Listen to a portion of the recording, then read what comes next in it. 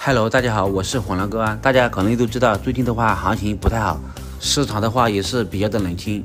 起因原因的话，我相信有很多的数码博主已经有说了，在这里的话我就不多说了。现在的话，我们去看一下苹果的港版，还有华为跟三星的，走吧，Let's go。首先要说到的是 iPhone XS Max 两百五十六 G 的港版，其实港版跟国行的是一样的，都是支持双卡。除了港版跟国行的之外，像外版的都是支持单卡。XS Max 这款机器是一八年发布的一款旗舰的机器，搭配的是六点五英寸的屏幕。电池方面的话，也搭配了三千一百七十四毫安的电池容量。待机方面的话，也是挺不错的。虽说搭配的是 A 十二的处理器，但是在运行上还是比较的流畅。作为主力机，用个两三年还是没问题的。像这样比较亮的成色，我也是三点二 K 拿下来的。说了 iPhone XS Max 大屏机器，我们再来看一下 iPhone 十一这款机器。iPhone 十一这款机器的话，搭配的是 A 十三的处理器。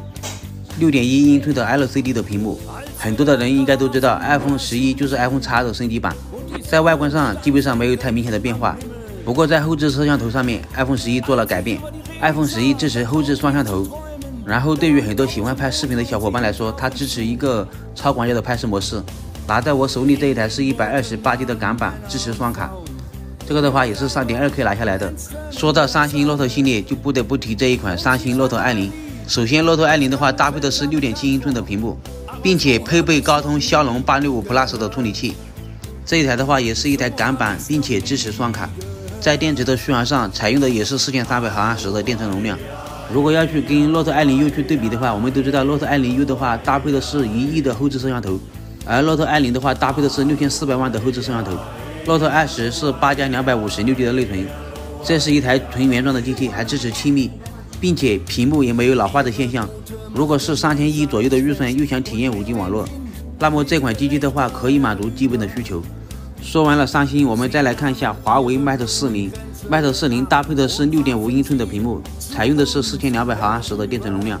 手里拿的这一台是八加一百二十八 G 的内存，并且支持五 G 网络。处理器方面也是搭配还是麒麟九千亿的芯片。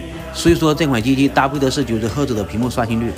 但是在运行的流畅度上依然不会感觉到明显的卡顿。如果有四千七左右的预算，又想体验五 G 网络，那么这款机器的话还是值得考虑的，并且还可以升级鸿蒙系统。好了，今天的内容就先暂时跟大家说到这里了。